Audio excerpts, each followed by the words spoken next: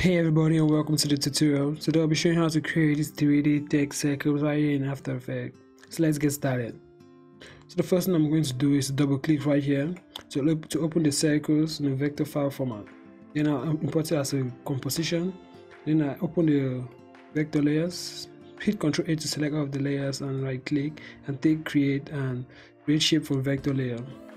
Then I hit Ctrl X to cut all of these layers. Ctrl A again and delete all of these Illustrator file layers and I hit Ctrl V to paste them back. So right here, I'm going to name all of these layers so that I can work easily in After Effects.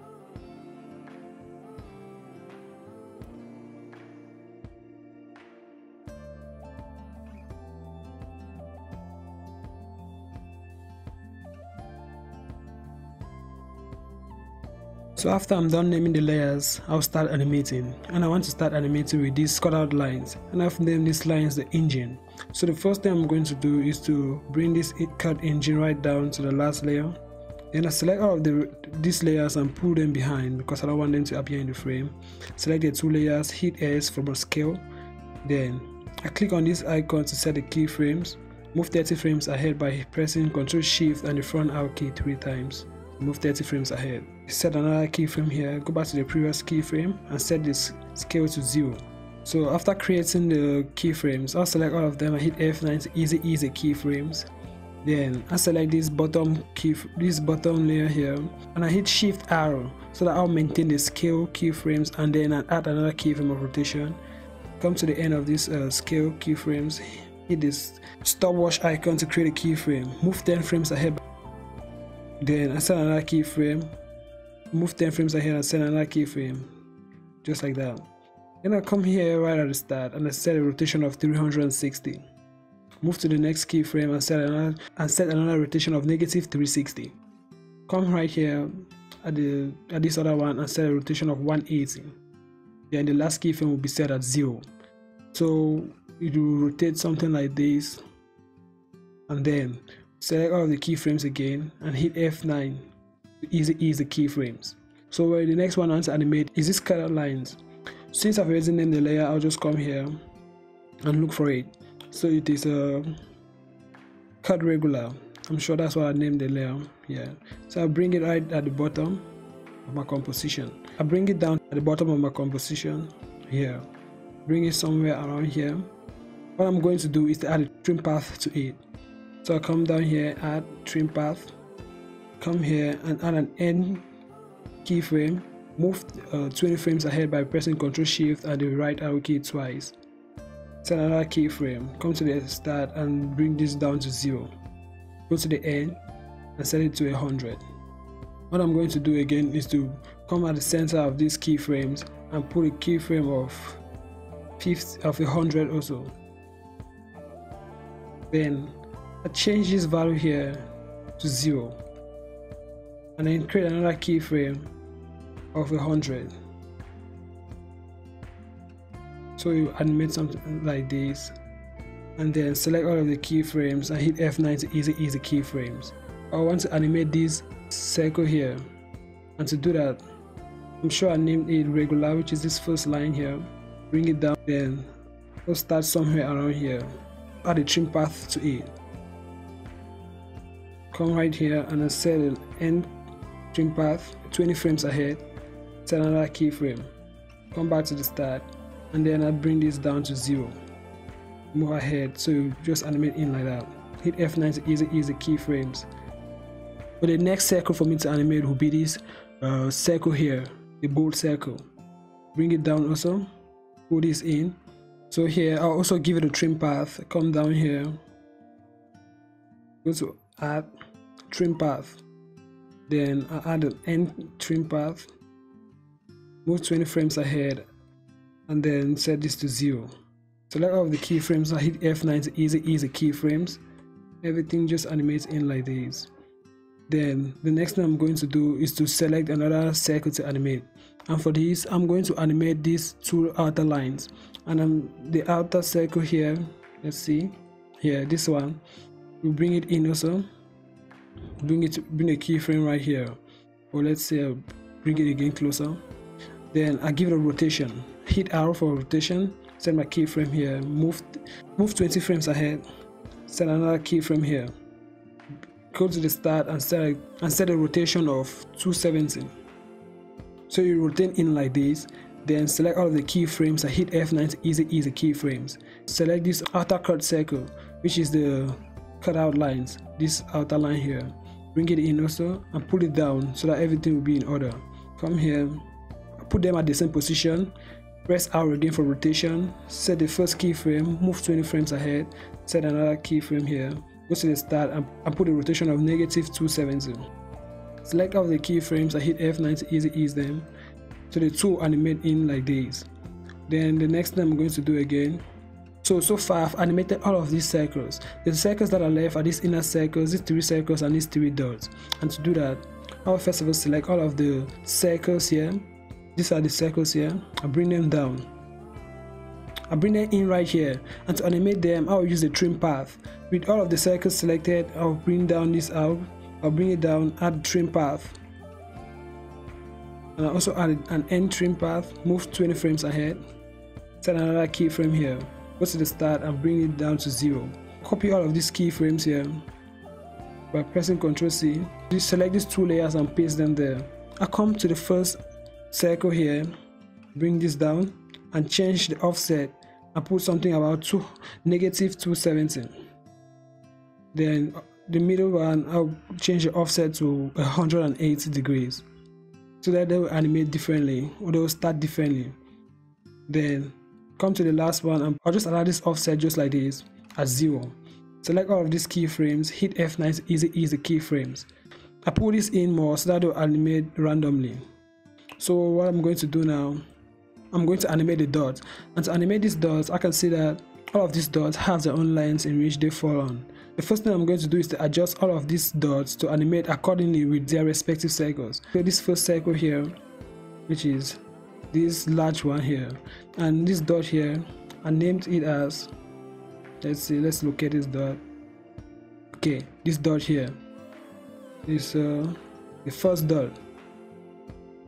Or let's see. Okay dot 2 so I'll bring it right here. Position it here.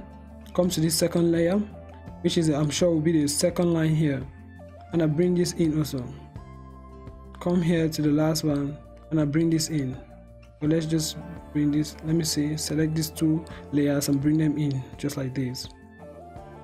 To animate all of these dots. I'll create a null object and set a rotation to it so they will rotate at random also and to do that I'll go to layer new and take new object. Or take a null object sorry. Cut this by pressing R and the and the left square bracket.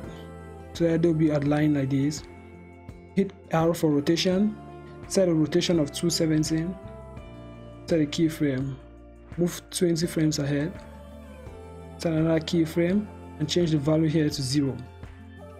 Come at the start, select all of my keyframes and hit F9 to easy ease them. Select all of these dots and then I'll pick whip them to this null object. So all of them will follow the same rotation, just like this. So far, let's see what we've done from the start. So all of the rotation and all of these tech circles will rotate just like this. So to just let me just make a slight adjustment by pulling these other keyframes behind again so that they will flush at the end. Select all of these and select this. Just bring them behind at the end like that at the end. Then I pull this behind a little just like this. Okay so we have something rotating like this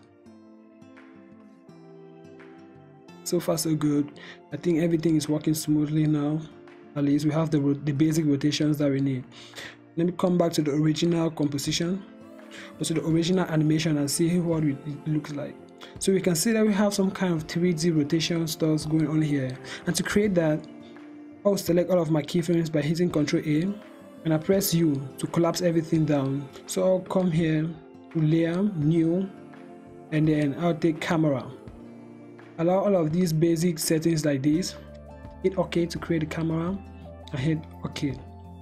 And then come to view and I take two views horizontal. So I'll split the screen like this. I'll hit P for position come to the very end of this timeline and set another position keyframe.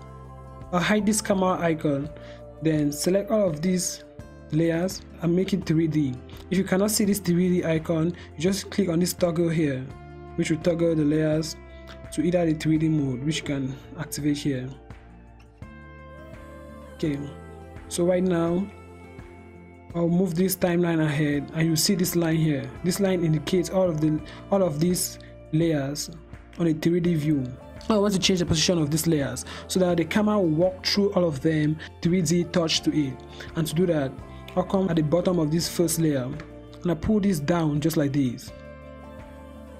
And I'll do this for every layer so that they will appear as the camera passes through them just bring this timeline again so that I'll see every layer that I'm working with. Move to this third layer and bring it down just like this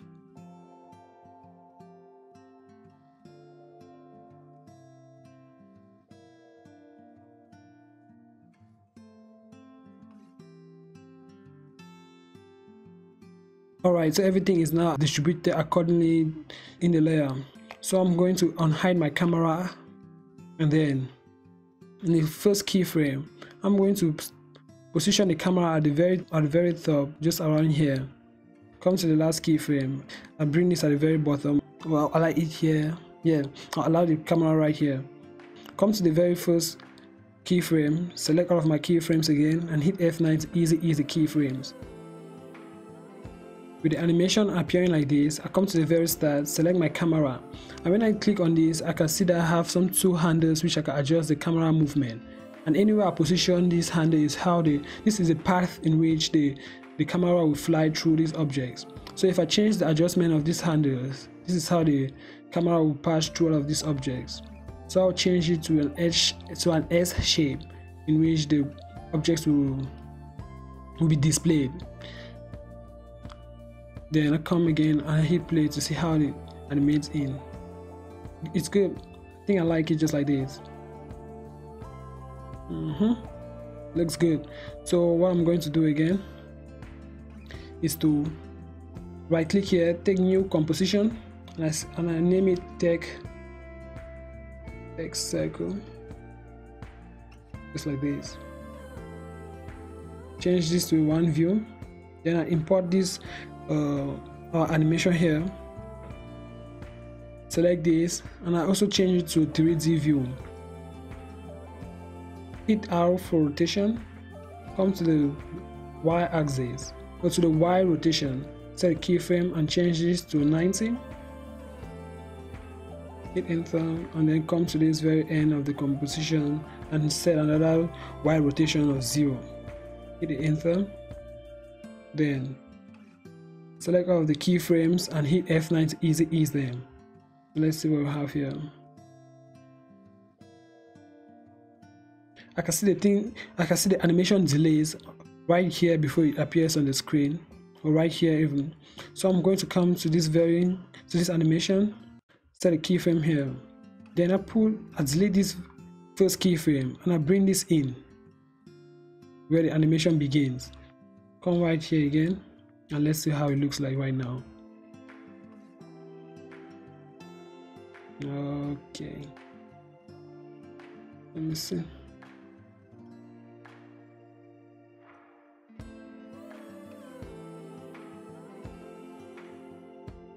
Okay so i'm just going to make some light adjustments in this uh, camera right here.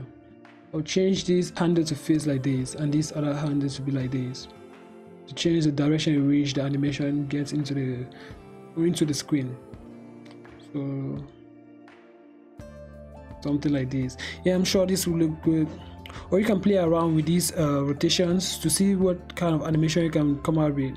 But for this tutorial i think i'm just going to allow it like this. This looks really cool so that's it for the tutorial. Hope you like it guys. And if you do please you can like the video and also subscribe to the channel for more tutorials like this. Because i release tutorials every week which i'm sure you don't want to miss them. And i'll talk to you guys in the next video.